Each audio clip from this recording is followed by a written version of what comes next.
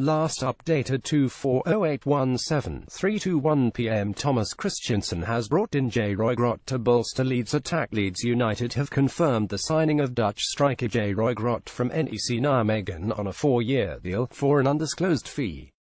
Leeds head coach Thomas Christiansen has been in the market for a striker following the sale of top scorer Chris Wood to Burnley for £15 million, and the cancellation of forward Souleymane Doukara's contract.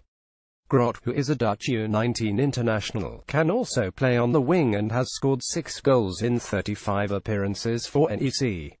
The 19-year-old said I'm very happy, this is such a big club and this is a big step in my career, I'm delighted to sign for Leeds United. It was been my dream to play in England and so to do that at a club like Leeds is really exciting.